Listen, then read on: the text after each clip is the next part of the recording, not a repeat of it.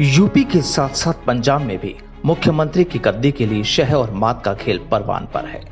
पूर्व कैबिनेट मंत्री नवजोत सिंह सिद्धू के सितारे यूँ तो पिछले पौने दो तो साल से ही गर्दिश में चल रहे हैं। मुख्यमंत्री कैप्टन अमरिंदर सिंह और सिद्धू का आपस में फंसा पेच सुलझने की बजाय उलझता जा रहा है। पिछले कुछ वक्त से सिद्धू दोबारा सक्रिय तो हुए, पर सिद्धू वाणी के तीर कांग्रेस के खिलाफ ही चल निकले। अब सिद्धू ने नैया पार लगाने के लिए ट्रंप कार्ड चल दिया है। हालात इतने बिगड़ गए कि खुद कांग्रेस हाईकमान को दखल देने आगे आना पड़ा। पंजाब कांग्रेस में कलहबाजी को सुलझाने के लिए सोनिया गांधी के आदेश पर तीन सदस्यीय कमेटी बनाई गई। सिद्धू समेत कई नेता कमेटी की मीटिंग में शामिल हो चुके हैं और कैप्टन अमरिंदर सिंह ने भी शुक्रवार को कमेटी के सामने अपनी बात रखी। अब रूठों का भी दिल्ली दरबार में मान मनोवल किया जा रहा है।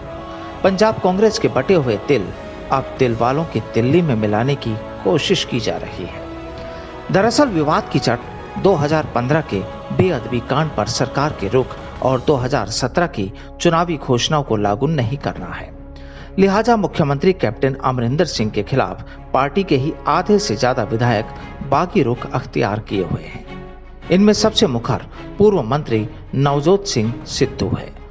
वो पिछले कुछ हफ़्ते से मुख्यमंत्री पर सोशल मीडिया के ज़रिए हमलावर बने हुए हैं। बेअदबी कांड और चुनावी घोषणाओं को लेकर सिद्धू, अमरिंदर सिंह पर हमलावर हैं। उन्होंने सीएम पर बादल परिवार के लिए भी काम करने के आरोप लगाए हैं।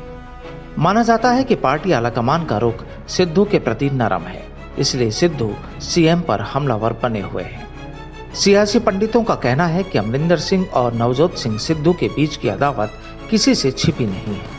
सीएम बनने का सपना पाले सिद्धू को जब कामयाबी नहीं मिली तो मुखर विरोध का रास्ता चुना। लेकिन जिस तरह से निकाय चुनाव में कांग्रेस को कामयाबी मिली तो अमरिंदर सिंह के पास यह कहने का विकल्प था कि अगर पार्टी या जनता में असंतोष होता है तो जीत नहीं हासिल होती।